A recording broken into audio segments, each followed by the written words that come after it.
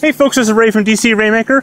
We're here in beautiful Les Arcs in the French Alps doing a bit of recording and, and testing out of the DJI Phantom 4. Um, now, in all fairness, this is actually the third time we've tried this. Um, the first two times uh, sort of succeeded. We got the aircraft in the air. It followed me for about 10 yards. Um, so the first time, and the good news is that we're learning a lot from this. Uh, the very first time what happened was that uh, we were too close. So we put the aircraft out just a, a short distance there, and I basically kind of overtook it too fast. The second time, um, we didn't complete a complete circle around me. And that's something that really helps to recognize me as a, as a person, um, which is what we're here for. We're testing auto track. Uh, so you've seen some of my drone videos in the past where I go ahead and I have a small transponder or a transmitter on my person and then it goes ahead and follows that down. With the Phantom 4, the way it works is it actually follows me, or in theory follows me anyways, um, by recognizing me as an object. Uh, so the way we do that is we go ahead and tap on the screen and choose me, and we go ahead and basically build this recognition of what I look like. Um, so on the second time, we didn't do a full loop around me. So as I headed down, it got to a different angle and it kind of lost what it looked like. Uh, so we're gonna do that here in a second.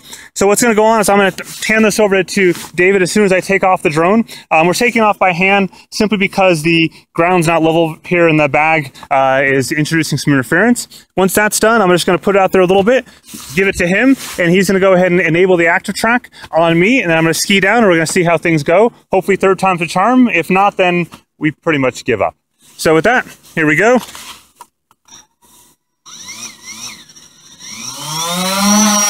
Okay, so it's up. I'll move it over here. And I move it back a bit.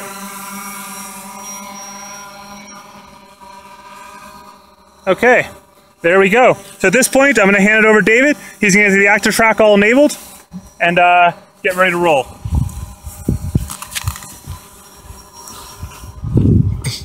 Ski out there a little bit so it, it can distinguish you from me.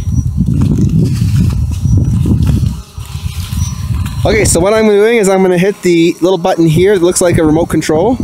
Then I hit active track. Then I click on Ray. It says aircraft too low, so I'll take the aircraft up a little tiny bit.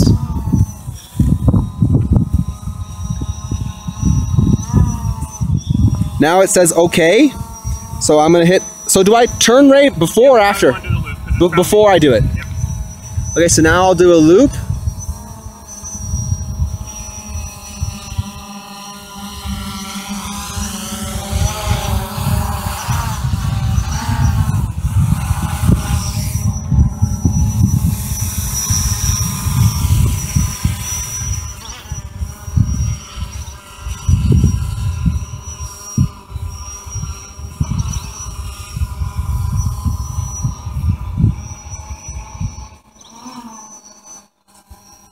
Subject out of range. Okay. All right. So we go. I hit okay. Yep. Okay, Ray, off you go. Okay, here it goes. Ray, stop!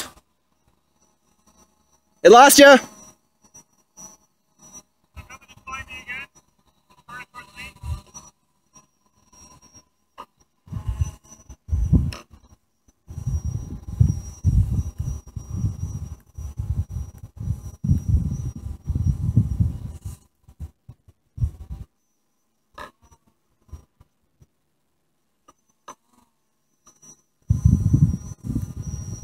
Okay, it's got you. Try again. Yeah.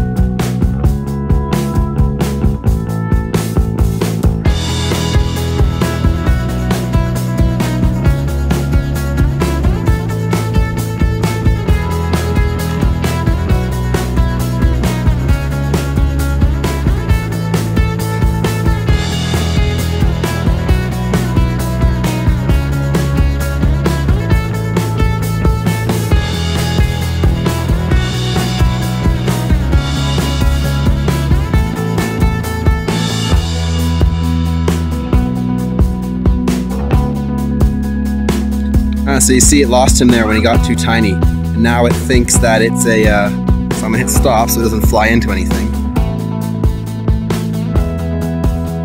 Fly it back to me.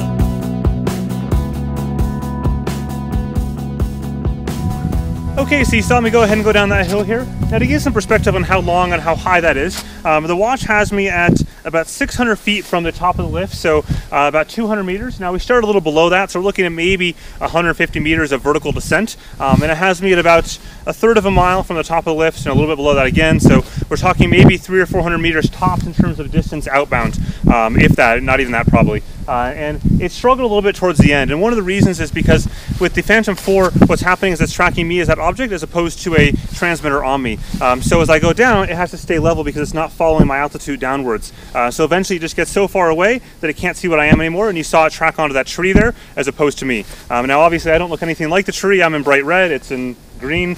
Um, so that's kind of limitations of the tracking systems of the Phantom 4. And now don't get me wrong, the Phantom 4 is an awesome drone for everything else on Earth except for tracking sports in action. Uh, so if you are going to head out and, and do that, I'd recommend first making sure you play with it a bit and understanding some limitations that we talked about earlier in terms of distance and doing a loop around the person. Um, and then just be aware that it's really a two-person operation. So David is helping me out do this. Um, you have to leave the remote somewhere. You can't take that with you. Um, so one of the other challenges as well. Uh, so with that, thanks for watching and keep tuned for more uh, videos on sports action cams as well as drones.